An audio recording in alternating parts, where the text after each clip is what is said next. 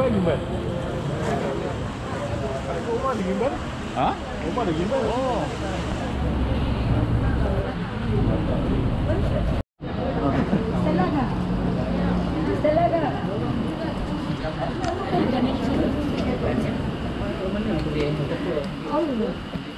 Eh dah.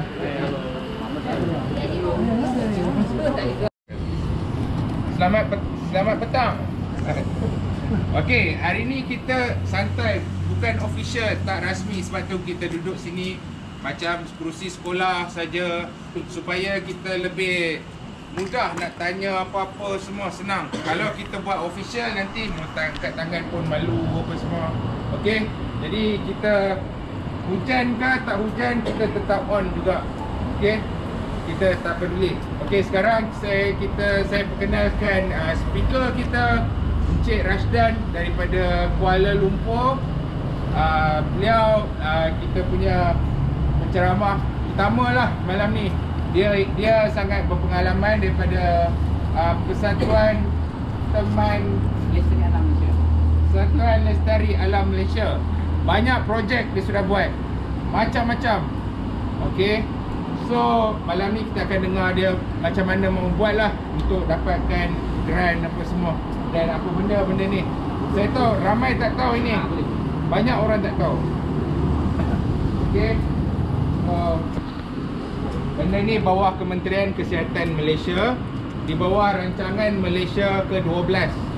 So bukan benda yang kecil tapi masalahnya tak diwar-warkan sangat dan banyak orang tak tahu. Okey. Jadi itu tujuan kita di sinilah. Okey. Okey. Uh, terima kasih Encik Faiz uh, daripada Pertubuhan Kebajikan Masyarakat Marahain Taiping. Suara saya dengar eh? Clear eh? Alright. Uh, ini kali ketiga saya sampai kat sini. Kali pertama beberapa bulan lepas uh, just orang kata curiosity lah. Kita nak tengok uh, apa yang di Facebook yang saya lihat masa PKP, masa MCO Pertubuhan Kebajikan mengadakan aktiviti bersama masyarakat yang saya nampak ini adalah antara yang terbaik lah yang saya pernah tengok. Eh, out of nowhere kita biasa di Kuala Lumpur tu biasa program-program uh, apa uh, ahli politik, uh, apa uh, korporat-korporat dan sebagainya. Tapi bila saya lihat Facebook uh, Pertubuhan Kebajikan Masyarakat Marahin Taiping, saya terdetik. Eh, saya nak datang juga. Ha, dan hari tu betapa saja nak test apa tu buat pelik sikit naik motor je datang dari KL. Ha, kata low carbon kan. Ha, kalau seorang-seorang buat kereta dah rugi tambah jam. Jadi saya naik motor kalau boleh nak basikal tapi jauh sangat. Okey, mungkin satu nanti saya naik basikal. Ha, atau jalan kaki. Jadi okey, uh, saya daripada Persatuan Malaysia Alam Malaysia. Kami adalah persatuan yang tak lama baru juga eh. Baru juga tahun 2014. Kita ditubuhkan di Lancang Pahang. Okey, di Lancang dekat dengan uh, Kuala Gandah Gajah. Gajah punya apa? Uh, Elephant Sanctuary. Okey, yang mana kita ada banyak program uh, untuk pendidikan sekolah. Jadi ketika kita ditubuhkan, masa tu memang kita nampak isu alam sekitar dah mula apa panas lah. Tapi tak ramai orang nak ambil tahu.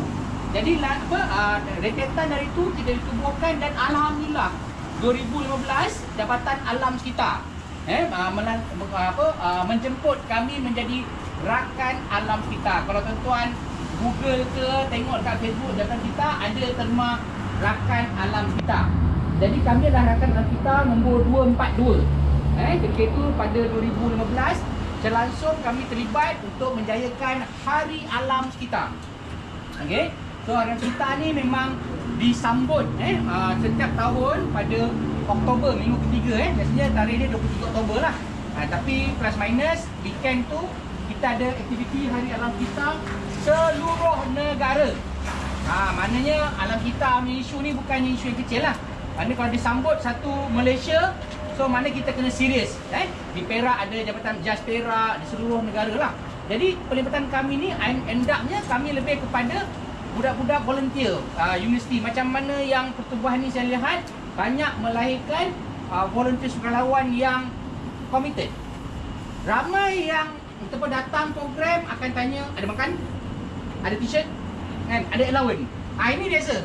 Ni sukarelawan terma di Malaysia. Tapi di negara yang saya belajar di Indonesia, di Yogyakarta, terma sukarelawan tu ialah suka dan rela. Jadi ada makan ke, ada t-shirt ke, tak ada ke, still dia akan buat. Ha, jadi tu kita nak perbetulkan suka relawan. You suka dan rela, you buat. Kalau you kata uh, nak datang tapi bersyarat ada allowance, ada upah, itu bukan sukarelawan. Itu ialah penyelaras atau koordinator. Okey, dia menyelaraskan dan dibayar. Tapi kalau kata sukarelawan tidak dibayar. Okay, jadi terma ni lah yang kita bawa.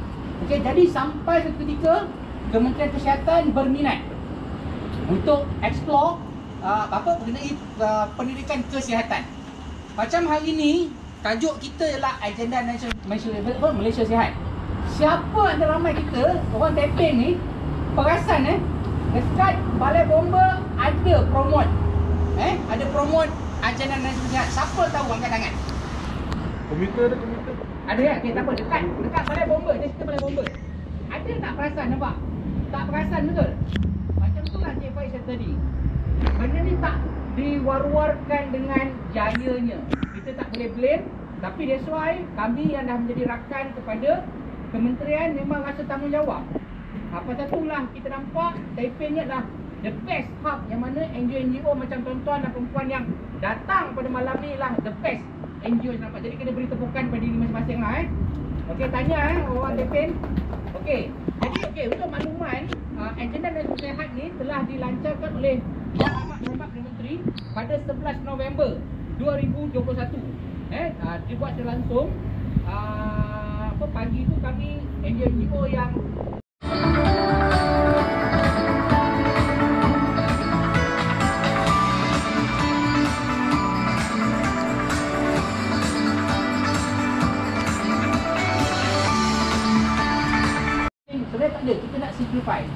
contoh yang uh, apa saya tiba-tiba tercetus eh nak buat sesuatu ialah nak jemput NGO-NGO yang ke arah kesihatan ni datang berhimpun di sini.